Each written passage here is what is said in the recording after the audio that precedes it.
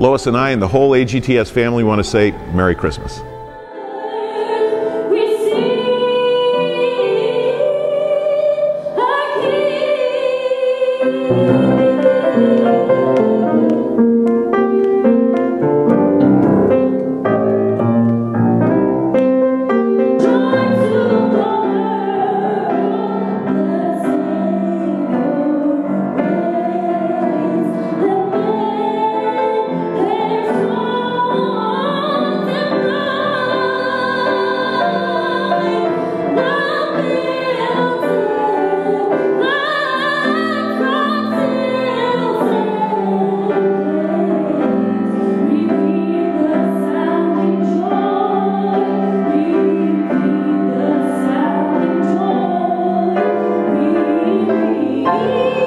You.